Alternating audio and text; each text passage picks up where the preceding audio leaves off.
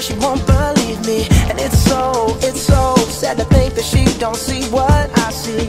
But every time she asks me, do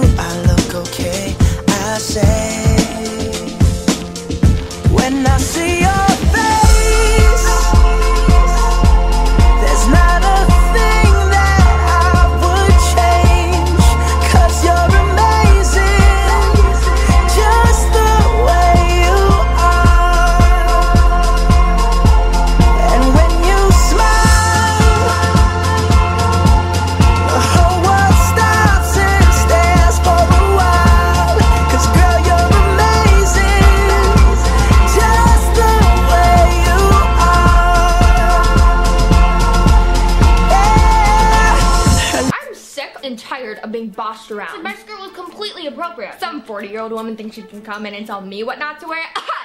Today. We need to come up with a solution. This is what they teach us in schools to be leaders, to lead a revolution. Cause everywhere going dress code for no reason. What, you guys just gonna sit there and act like there's no real problem here? You think about me, you know that I think dress codes for school are unnecessary. So today I've come up with a bunch of different life hacks to help you get by the dress code. They work great in my opinion. We all come from different places and obviously not everyone's dress codes are the same, but I tried to just take some basic dress codes that most people had and make life hacks for those. Kind of how to get around the dress code. That way kids can get around the fine lines of the dress code and wear what they actually want to wear. Must have straps. And what will get us that dress code violation? The off the shoulder shirt. They're so cute, can schools just stop? Anyways, how are we going to fix this? Wear it with a thick strap bralette or tank top. Dress code states that no midriff is allowed. I am personally emotionally attached to the crop top, so the way that I fix this is layering it over a cute dress. Oh my gosh, it looks so cute and preppy. Don't stop the crop. Gosh, it's 100 degrees outside, but a tank top will get us a dress code violation, which we do not want today. So the way that we can fix that is wearing a basic tee under the tank top. This is actually really fashionable right now, so it's a win. So recently, the tie-up shirts have become very fashionable, and a lot of dress codes don't allow them. So understandably, the violation would be the tie-up top. But there is an easy way to fix this. If you just wear a scoop cami under the top, you will ensure that you can't see anything, and you will be covered and good to go. Dress code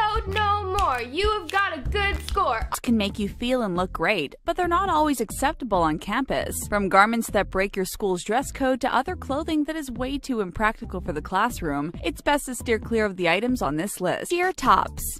Wearing a see through top might be perfect for a night out with your friends or your boyfriend, but unless you want to get hauled off to the principal's office when you show up to school, you might want to think twice about wearing them on campus. Most of these blouses show off way too much, and many schools consider them to be a huge distraction in the classroom. There's a time and place for everything, and unfortunately, school is the wrong place for this style of shirt. With the transparent and see through trends dominating the fashion world, we understand why you'd want to incorporate this in your look into your back to school wardrobe. Thankfully, there's a way you can dress a sheer blouse up to make it look a little more acceptable. Wearing a tank top underneath your see through shirt will ensure that you're all covered up and looking appropriate for school. These micro shirts that show off your entire midsection became fashion staples in the 70s and 80s. They faded away for a bit, but they finally wiggled their way back into our hearts. Everywhere you go, you're sure to see more than a few people rocking these shirts and showing off their toned tummy. Exposing your stomach during school hours is a no-no. You might offend your teachers and fellow students, and you might even get hit with detention. And who wants to deal with that? When it comes to getting dressed for school, no one expects you to look like you're headed to a corporate office. However, being mindful that what's hot on the weekend isn't always a good idea for the classroom should be taken into consideration.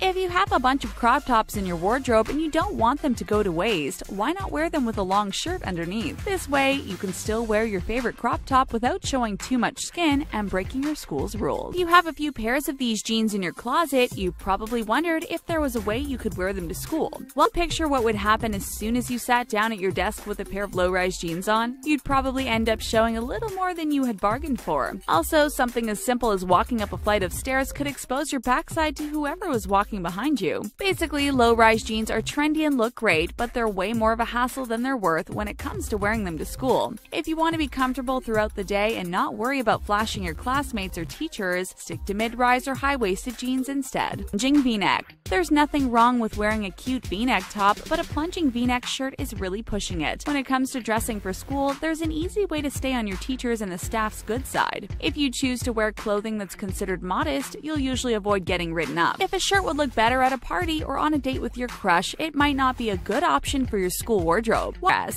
this may seem like a no-brainer, but countless students attempt to wear these tiny dresses to school and they end up failing miserably. To find out why mini dresses are such a bad idea, we don't need to look any further than this picture of actress Katie Holmes. Of course, she wasn't in a classroom when she stepped out in this denim number, but it doesn't change the fact that her tiny dress ended up being a horrible idea.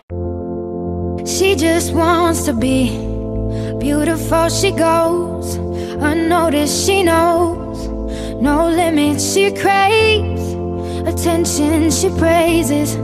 An image she prays to be sculpted by the sculptor. Oh she don't see the light that's shining. Deeper than the eyes can find it. Maybe we're made of blind so she tries to cover up her pain and cut her woes away cause cover girls don't cry after the face is made. But there's a hole